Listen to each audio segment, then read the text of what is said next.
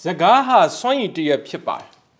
လူချင်းတို့ရဲ့ဘဝမှာလူချင်းတို့ရဲ့စကားစွန့်ရည်မြင်မာလာတာနဲ့အမျှလူချင်းတို့ရဲ့ဘဝဟာတဆင့်တက်တဆင့်မြင်မာပြီးတော့အောင်မြင်လာမှာဖြစ်ပါတယ်ဒါကြောင့်မိမိတို့ရဲ့စကားစွန့်ရည်မြင်မာဖို့အတွက်လေ့လာခြင်းတဲ့သူတွေအနေနဲ့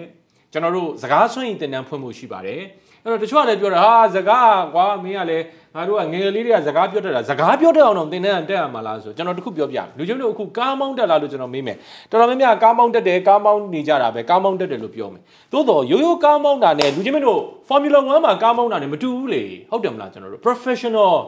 ဆောင်ရွက်တာနဲ့ရိုးစကားပြောတာနဲ့မတူအဲ့တော့စကားကိုစွန့်ရင်မြင်မာစွာပြောဆိုနိုင်မှလူချင်းတို့ရဲ့လုပ်ငန်းနယ်ပယ်အသီးသီးမှာလူချင်းတို့ကအောင်မြင်မှုကိုတည်ဆောက်နိုင်မှာဖြစ်ပါတယ်ဒါကြောင့်ကျွန်တော်တို့အားလုံးစောင့်စားနေတဲ့ကျွန်တော်ရဲ့စကားစွမ်းရည်သင်တန်း Business Presentations Master Class အမြဲတမ်းဒါလူအပြည့်တက်ရောက်ကြတဲ့အတွက်လည်းကျေးဇူးတင်ပါတယ်အခုပြန်ဖွင့်ပေးပါပြီ အရင်မတက်လိုက်ရတဲ့သူတွေအတွက်တန်းကွဲသစ်ကိုကျွန်တော်တို့ online သင်တန်းဒီလာမဲ့23ရက်9လ9လပိုင်း23ရက်နေ့အင်္ဂါနေ့မှာစမှာဖြစ်ပါတယ် Facebook group ကနေကျွန်တော်တို့က online ကနေသင်မယ်ဒါပေမဲ့ကျွန်တော်တို့ဒီတစ်ခေါက်မှာတော့ online သင်တန်းကိုကျွန်တော်တို့ကထူးခြားမှုအနေနဲ့ Facebook သုံးဖို့အခက်အခဲရှိတဲ့သူတွေအတွက်ကျွန်တော်တို့က Telegram private channel မှာပါသင်ခန်းစာတွေကိုတင်ပေးမှာဖြစ်ပါတယ်။ဒါကြောင့်ကျွန်တော်တို့ online သင်တန်းဒီ23ရက်နေ့စမယ်။တလတိတိ online ကနေတက်ရောက်အောင်မှာဖြစ်တယ်။အဲ့တော့ Facebook ကြည့်ချင်တဲ့သူတွေ Facebook မှာလည်း group ရှိမယ်။ Okay Facebook သုံးရတာအခက်အခဲရှိတယ် Telegram private channel မှာလည်းတင်ပေးမယ်။အဲ့တော့ Telegram ကတက်ချင်လည်းရတယ် Facebook ကတက်ချင်လည်းရတယ်။နှစ်ခုလုံးတက်ချင်လည်းရเนาะကျွန်တော်တို့အဲ live lecture ကိုလည်းကျွန်တော်တို့အထူးအစီအစဉ်အနေနဲ့ဒီသင်တန်းမှာ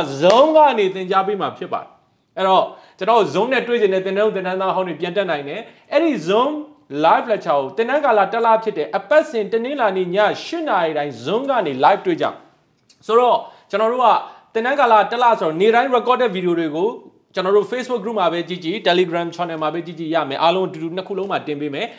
live lecture ကိုအပတ်စဉ်တနင်္လာနေ့ည8နာရီတိုင်း Zoom မှာ live တွေ့ပြီးသင်မယ်အကယ်၍အဲ့ဒီ live lecture မှာလည်းကိုကမအားလို့မတက်နိုင်ရင်လည်းပြန်ကြည့်နိုင်အောင် အဲ့ဒီ live lecture record ကိုလည်းကျွန်တော်တို့ group တွေထဲမှာတင်ထားပေးမှာဖြစ်တယ်ဆိုတဲ့သတင်းကောင်းလေးပါလို့ပါတယ်ဒီသင်တန်းကြီးကျွန်တော်တို့ကစကားစွမ်းရည်သင်တန်းလို့ဆိုတာနဲ့အညီကျွန်တော်တို့ကလူချင်းတို့ရဲ့စကားစွမ်းရည်မြင်မာဖို့အတွက်သင်ခန်းစာတွေကိုလေ့လာတဲ့အပြင် Zoom live lecture မှာကျွန်တော်နဲ့ရင်းနှီးချစ်ခင်ဆိုတာတယောက်ချင်းတွေ့ပြီးတော့မှလူချင်းတို့ရဲ့ လိုအပ်ချက်တွေကိုကျွန်တော်ကစကားပြောဆိုမှုဆိုင်ရာလုပ်ငန်းခွင်ဆိုင်ရာလိုအပ်ချက်တွေကိုကျွန်တော်က speaker coach တယောက်အနေနဲ့အထူးအကြံပေးသွားမဲ့အစီအစဉ်တွေလည်းပါဝင်မှာဖြစ်ပါတယ်အပြင်မှာလူတွေ့ပြီးတက်ချင်တဲ့သူတွေအတွက်ကတော့ကျွန်တော်တို့က9လပိုင်းပဲ29ရက်နေ့နဲ့28ရက်နေ့9လပိုင်း29 28စနေတင်တွေနေ့ရက်မှာရန်ကုန်မြို့တော်ဝင်စင်တာ3လမှာရှိတဲ့ကျွန်တော်တို့ Amlo တင်တန်းကျောင်းမှာမနက်10နာရီကနေညနေ6နာရီထိကျွန်တော်နဲ့2ရက်အချိန်ပြည့်ရင်းနှီးချစ်ခင်စွာလူတွေ့ပြီးတက်ရောက်မှာဖြစ်ပါတယ်အဲ့တော့ online သင်တန်းပဲတက်ချင်တက်ချင်အပြင်သင်တန်းပဲတက်ချင်တက်ချင်လူချင်းတို့ရဲ့နာမည်ရဲ့ဖုန်းနံပါတ်ရဲ့ comment မှာမရေးနဲ့နော် Messenger မှာရေးထားပေးပါကျွန်တော်တို့ team ကညီရင်ညီမတွေကဆက်သွယ်ပေးပါမယ်အခုအစီအစဉ်ကိုကြည့်တဲ့သူတိုင်းကို20% discount ကျွန်တော်တို့ဆက်ပြီးတော့ပေးထားပါတယ်ဒီသင်တန်းဒီစကားစွမ်းရည်သင်တန်း business presentations master class လို့ဆိုတာနဲ့အညီ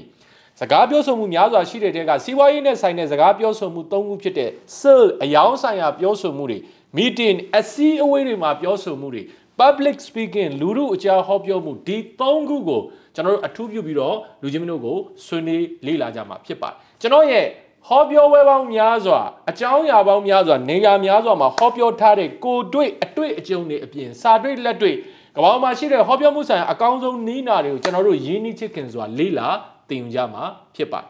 အဲ့တော့စကားပြောတယ်ဆိုတာကကျွန်တော်တို့ခုနပြောသလိုကိုပြောတဲ့စကားကိုတစ်ဖက်သားကိုထိရောက်စွာပြောဆိုနိုင်မှုသည်အလွန်အရေးကြီးတာဖြစ်တဲ့အတွက် ကျွန်တော်စကားပြောဆိုမှုဆိုင်ရာမဟာဗျူဟာနီးဗျူဟာတွေကိုလေ့လာကြတဲ့အခါမှာမိမိရဲ့ကိုယ်ပိုင်ဟန်နဲ့ကိုက်ညီအောင်လေ့လာနိုင်မှုကအလွန်အရေးကြီးပါတယ်။နောက်တစ်ခုကတော့ဒီသင်တန်းမှာအထူးဖြစ်ဆွအနေနဲ့ online မှာပြောဆိုမှုအပြင်မှာပြောတာနဲ့ online မှာမတူဘူး။ပြီးတော့ဒီနေ့ခေတ်မှာ social media ပေါင်းများစွာမှာပြောရတော့လူချင်းတို့ရဲ့အောင်မြင်မှုက social media တစ်ခုတည်းမှာပဲလူချင်းတို့အားကိုးလို့မရတော့အဲ social media ပေါ်မှာ online ပေါ်မှာလူတွေကိုစကားပြောရင်ဘယ်လိုပြောမလဲ zone meeting တွေမှာလူတွေကိုစိတ်ဝင်စားအောင်ဘယ်လိုပြောမလဲအပြင် meeting နဲ့ zone meeting လည်းမတူပြန်ဘူး environment ပတ်ဝန်းကျင်ကအစမတူဘူး အဲ့ဒီအချက်တွေကိုကျွန်တော်လေ့လာမယ်နောက် AI ခေတ်သစ်ကလာပြီ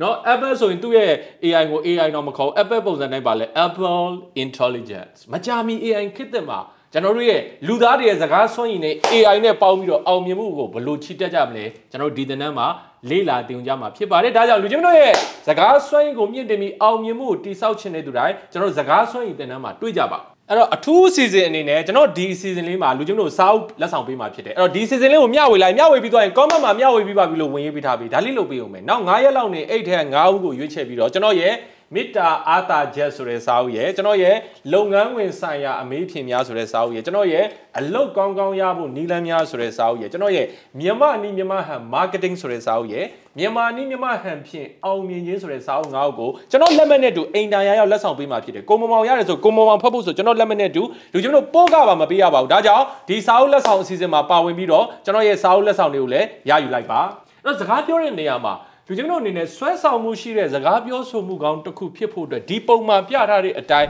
နှစ်ခုလိုတယ်အကြောင်းအရာကောင်းမှုလိုတယ်ပြောပုံဆိုပုံကောင်းမှုလိုတယ်အဲ့တော့တချို့သူတွေကပြောတဲ့အကြောင်းအရာအလွန်ကောင်းတယ်ဒါပေမဲ့သူပြောပုံဆိုပုံကစကားမပြောတတ်တဲ့အတွက်ပြင်းစရာကောင်းတော့လူတွေကနားထောင်သင့်တဲ့လောက်နားမထောင်ဒါကြောင့်ဒီသင်တန်းမှာလူချင်းတို့ ကျွန်တော်တို့ကပြောတဲ့အကြောင်းအရာလည်းကောင်းမယ်ပြောပုံဆိုပုံလည်းကောင်းမယ်ဆိုတော့တားရွှေဦးထွန်းလာတယ်လို့ပေါ့ဒီသင်တန်းမှာပြောတဲ့အကြောင်းအရာကိုလည်းအကောင်းဆုံးဖြစ်အောင်ဘယ်လိုပြင်ဆင်ရမလဲကျွန်တော်ရဲ့ဟောပြောပွဲပေါင်းများစွာလက်တွေ့ပြိသက်ပေါင်းများစွာကိုဟောပြောခဲ့တဲ့ပြိသက်အမျိုးအစားပေါင်းများစွာလူကြီးလူငယ် professional နေပယ်အစုံကိုပြောခဲ့တဲ့အတွေ့အကြုံတွေကနေအစီအနှစ်ထုတ်ပြီးလေ့လာကြမယ်ပြောဖို့ဆိုဖို့အကောင်းဆုံးဖြစ်အောင်လည်းဘယ်လိုပြောမလဲဆိုတဲ့လျှို့ဝှက်ချက်တွေကိုကျွန်တော်တို့လေ့လာကြမှာဖြစ်ပါတယ်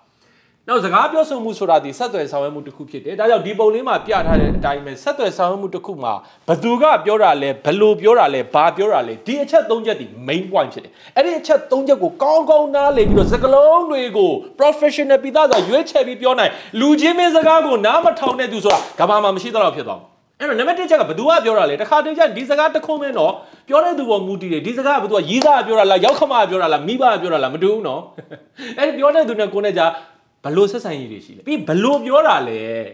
ပြီးတော့ဘာပြောတာလဲဆိုတာတခါကျဘာပြောတာလဲဆိုတာပဲဒါပေမဲ့ဘလို့ပြောတာလဲဆိုတာလည်းမူတည်သေးတယ်ကျွန်တော်မြန်မာစကားဆိုရင်ဥမာဆိုပါဆိုအတန်အဖိပေါ့ကွာတာနဲ့အတိတ်ပဲကွာသွားတယ်ဥမာဘာလဲဘာလဲဆိုတဲ့မြန်မာစကားကျွန်တော်လေတန်လေးရှော့ပြီးပြောဘာလဲကောင်မလေးတွေတယောက်နဲ့တော့ဟဲ့ဘာလဲအဲ့ဒါသိကျင်လို့မေးတာအဲ့တော့လေတန်နဲ့နဲ့မြင်ပြောဘာလဲအဲ့ဒါရန်တွေ့တာလေဟဲ့ဘာလဲဟဲ့အောင်တော့မတဘာလဲအဲ့ဒါရန်တွေ့တာတွေ့လားလေတန်အဖိအပေါ့ကွာသွားတာ ਨੇ ဒီစကားပဲတော့အတိတ်ပဲတွေအများကြီးကွာသွား အဲ့တော့ဒီအချက်တစ်ချက်ပေါ့နော်ဘသူကပြောတာလဲ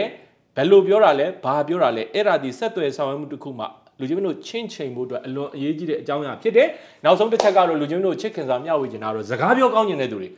တယောက်ချင်းပဲပြောပြောပြိသက်ကိုပဲဟောပြောပြောစကားပြောကောင်းမှုအတွက်အခြေခံအချက်၃ချက်လိုတယ်နံပါတ်1စိတ်ထားကောင်းမှုလိုတယ်ကျွန်တော်ခဏခဏပြောစိတ်ထားကောင်းမှစကားကောင်းတွေထွက်နံပါတ်2အချက် ဘဟုတုဒကြွယ်ဝဖို့လိုတယ်အထွေထွေဘဟုတုဒကြွယ်ဝဖို့လိုတယ်သူများကိုစကားကိုစိတ်ဝင်စားဖို့ပြောမှဖြစ်တဲ့အတွက်ကျွန်တော်တို့ကတိုင်းတိုင်းဝိုင်းဝိုင်းဖွဲ့ဖွဲ့ရရပြောဖို့ကကို့မှာအထွေထွေဘဟုတုဒကြွယ်ဝနောက်ဆုံးနံပါတ်3ချက်ကတော့ဘာသာရေးဆိုင်ရာကျွမ်းကျင်မှုဖြစ်တဲ့အတွက်ကိုပြောတဲ့အကြောင်းအရာကိုကျွမ်းကျင်ရမယ်ကိုတေချာမသိတော့သွားမပြောနဲ့ဟာချစ်သူရေ